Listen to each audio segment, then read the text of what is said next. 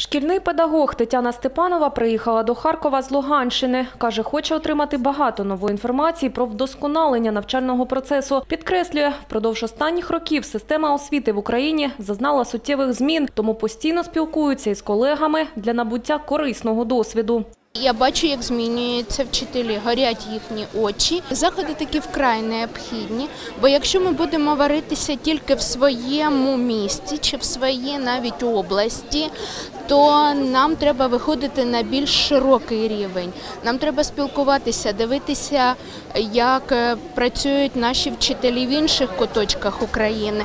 А ось 11-річний Олег Охрамович став наймолодшим експертом освітнього фестивалю. Добре розуміється на сучасних технологіях і під час свого виступу хоче розповісти вчителям та батькам, яким чином зацікавити дітей на уроках, використовуючи спеціальні ігрові додатки. Запевняє, усі шкільні предмети можна опанувати за допомогою віртуального світу.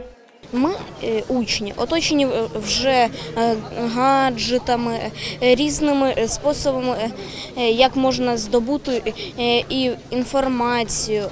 І нам вже старі методи не дуже так цікаві. А я а ось гейміфікація вона справді допомагає. Освітній фестиваль «EdCamp Ukraine» відбувається вже п'ятий рік поспіль. За словами організаторів, Харківщина серед регіонів лідерів за впровадженням сучасних підходів до навчального процесу, тому проводять захід саме тут. Як може бути Харківщина не найкращою? У нас такі вчителі завзяті, працьовиті. Ми навчаємо і наших дітей. І ви бачите, що з кожним роком наші діти набувають все більших знань, і ми завойовуємо більше позицій. Ініціатива йде знизу. І саме представники освіти ініціюють ті питання і ті зміни, які потрібно втілювати в освіті. Вони проходять через органи державної влади і втілюються у практику. Цього року освітній фестиваль у Харкові зібрав учасників із 20 країн світу, серед яких понад тисяча шкільних педагогів. У програмі круглі столи, експертні та учительські сесії, відкриті уроки, різноманітні інтерактиви, а також проблемні дискусії. Головна тема п'ятого освітнього фестивалю – як зростити хорошу людину. Традиційно в школі вважалося, що е, однозначна мета навчання це дати передати знання. Сьогодні цього недостатньо, і в цьому бурхливому світі, і незвіданому майбутньому стають найважливіші все-таки цінності. І те, як людина може володіти собою, як вона взаємодіє з іншими людьми, і як змінює навколо себе цей світ на краще.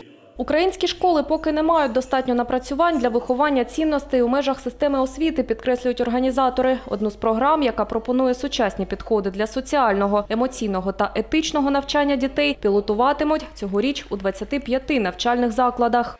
Головна сфера вдосконалення це комунікація ідеї цінності реформи. Це те, власне, над чим ми дуже багато працюємо, коли е, зустрічаємося з педагогами в усіх регіонах.